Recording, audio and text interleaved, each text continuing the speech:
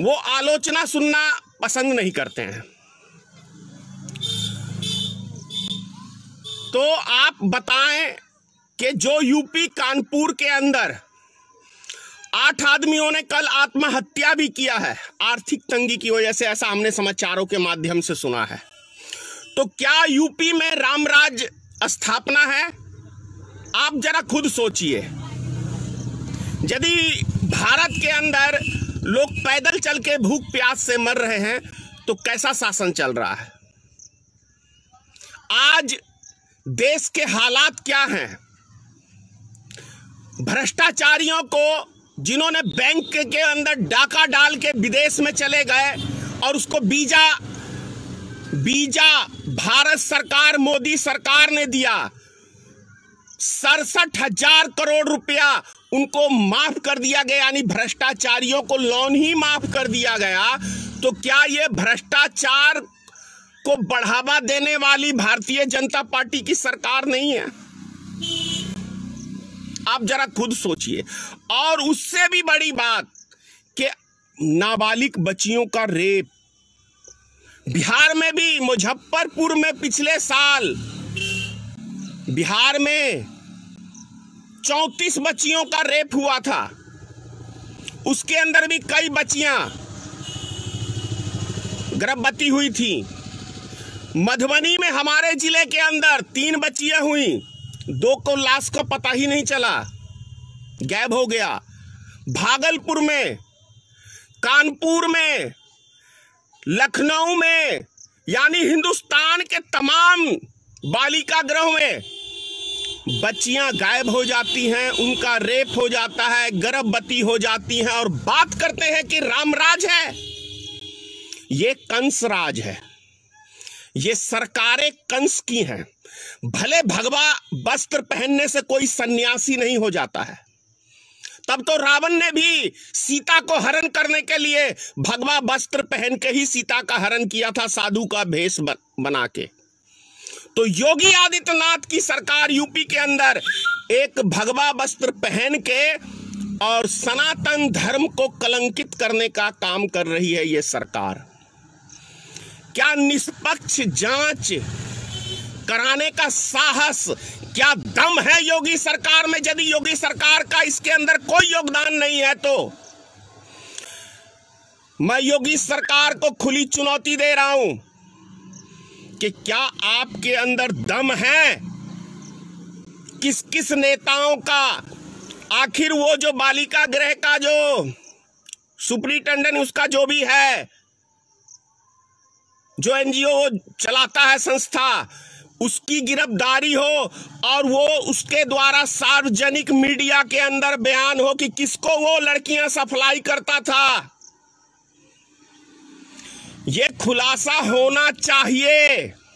यदि राम राज की आप बात कर रहे हैं, नहीं तो स्वीकार करिए कि कंस राज रावण राज चल रहा है यूपी के अंदर। दलितों के ऊपर अत्याचार हो रहा है।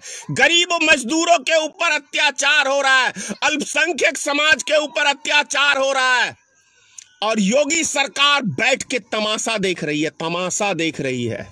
क्या इसीलिए योगी जी को जनता ने 325 सीट यूपी के अंदर दिया था।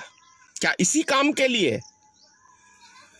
या तो कह दो कि हम जो बोलते हैं वो कभी निभाते ही नहीं, जैसे मोदी, आपका गुरु, सारे भक्तों का गुरु नरेंद्र मोदी, झूठ का पुलिंदा, नरेंद्र मोदी, जुमलेबाज प्रधानमंत्री, कहे कि क्या चल रहा है इस देश के अंदर?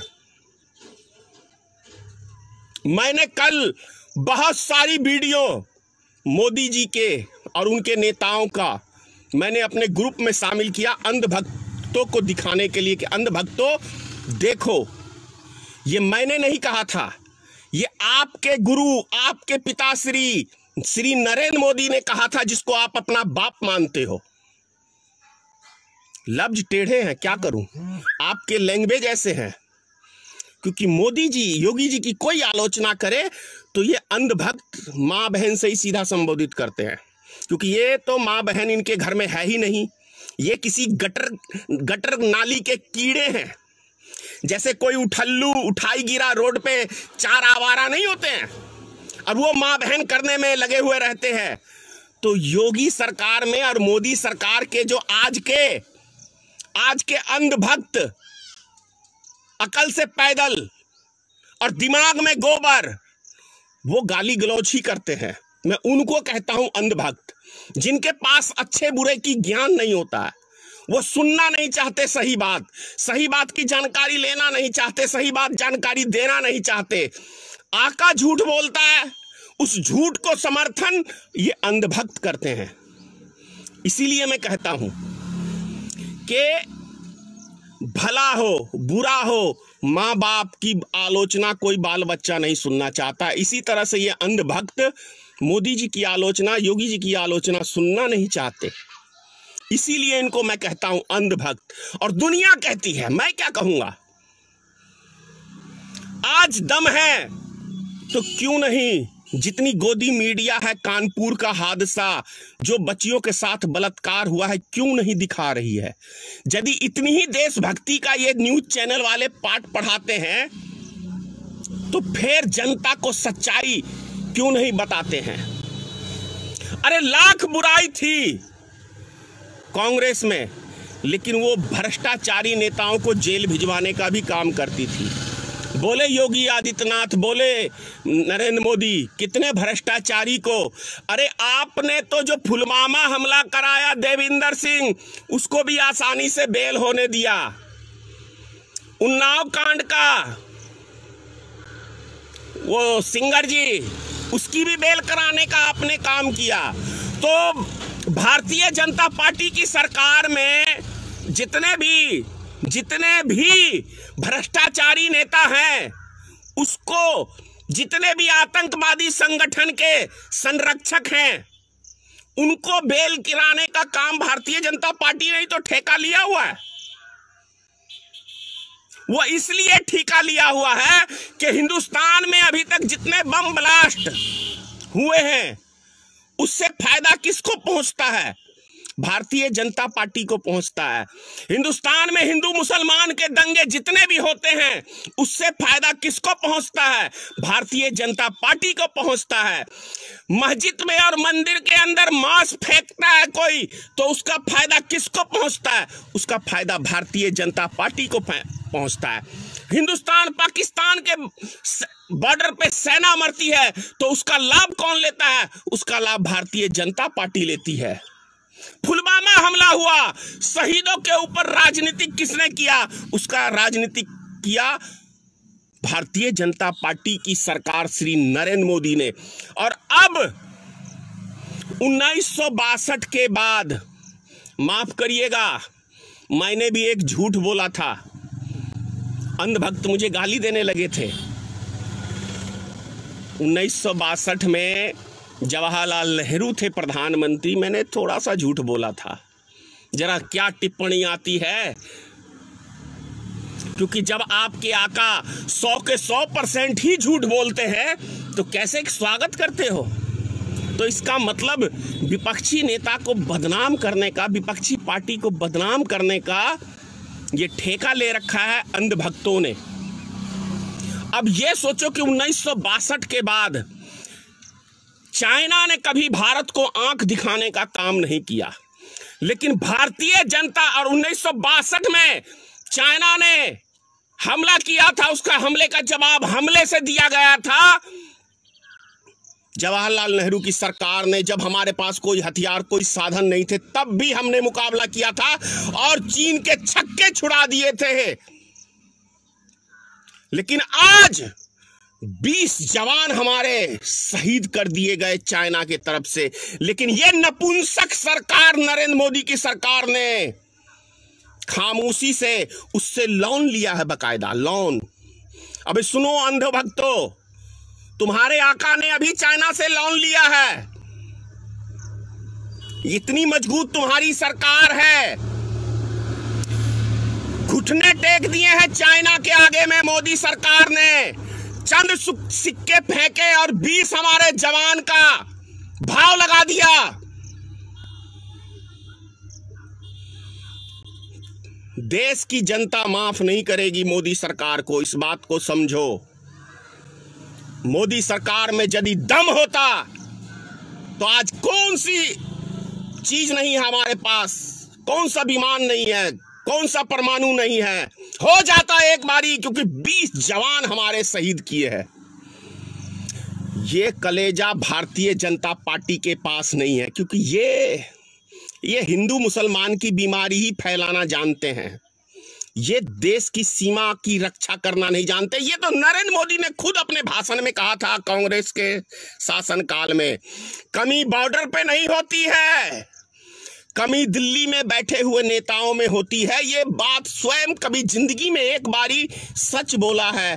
अभी के टाइम में वो चीज़ सच साबित हो गया कि हमारे केंद्र में, मोदी सरकार में कमी है। इसीलिए तो नेपाल जैसा देश भी हमारे नागरिकों को मार देता है और ये नपुंसक सरकार एक लफ्ज नहीं बोलती है। चुनाव प्रचार में लगी हुई है। चुनाव के लिए धन इकट्ठा कर रही है। आखिर सोचिए 270 परसेंट कभी सुना है दुनिया में किसी मुल्क में? दुनिया के किसी भी मुल्क में 270 परसेंट टैक्स लादा जाता हो डीजल, पेट्रोल पे। ये वही सरकार है, मैंने रात में वीडियो आप लोग को भेजा है अपने ग्रुप में कि सुनो मोदी भक्तों, क्या कहा था आपके आका ने? कि दस रुपए क्यों बढ़ता है, दो रुपए क्यों बढ़ता है? दस परसेंट टैक्स क्यों होता है? लेकिन आपके आका ने तो अभी 270 परसेंट जो टैक्स वसूली हो रहा है, प्राइवेट कंपनियों का जेब भरा जा रहा है। ये खजाना किसका भरा जा रहा है? स्विच बैंक के। स्विच बैंक के अंदर ये पैसा जमा हो रहा है, सारा डीजल, पेट्रोल का प्रॉफिट। ताकि दबा के चंदा ये कंपनी वाले भारतीय जनता पार्टी को फंडिंग करे और भारतीय जनता पार्टी एमएलए खरीदने में व्यस्त रहे। सरकार गिराने में व्यस्त रहे। इसी के लिए क्या हमने भारतीय जनता पार्टी को देश की जनता ने चुना? आप खुद फैसला करें। क्या धनेश्वर महतो सही कह रहा है या गलत कह रहा है? अगर देश से प्रेम करते हो, अंधभक्तों सुन लो। अगर देश से प्रेम करते हो तो अंधभक्ति छोड़ दो। अंधभक्ति छोड़ दो। यदि राष्ट्र प्रेम है तुम्हारे अंदर, जरा भी तो अंधभक्ति मत करो, सोचो, समझो कि जिसे तुमने चुना है, क्या वो देश के लिए काम कर रही है? या तुम्हें सिर्फ़ नफरत हिंदू मुसलमान का डाल के वो देश के खजाने को खाली करके सिर्फ़ उद्योगपतियों का घर भरने का काम कर रही है? और जितना भी देश के अंदर सरकारी संस्थाएँ थी, सारे उद्योगपतियों को बेचने का काम किया है। आपके आका श्री नरेंद्र मोदी ने, आप स्वीकार करो ये सच्चाई है। एलआईसी को कभी सुना था कि एल को भी सरकार गिरवी रखेगी? उसको भी रख दिया है। कभी लाल किले को सुना था, उसको भी गिरवी रख दिया है। एयरपोर्ट को कभी सुना था उसको भी गिरवी रख दिया है। आखिर किसके लिए गिरवी रख रहे हो भाई? रेलवे को सुना था। भारत सरकार की रेलवे, उसको भी प्राइवेटकरण कर दिया गया। फिर भी अंधभक्ति नहीं उतर रही है। उतारो ये चोला, नहीं तो तुम्हारे लिए नहीं, तुम्हारे बाल बच्चों के लिए। बहुत बुरा दिन आने वाला है, बहुत बुरा दिन आएगा। आज के लिए मत सोचो, कल के लिए अपने भविष्य के लिए, अपने बच्चों के लिए, अपने देश के लिए सोचो। कम से कम थोड़ी देर के लिए अंधभक्ति उतार दो और देश के लिए सोचो। इतना ही कहूँगा।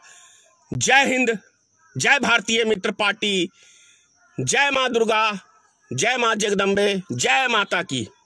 सीताराम।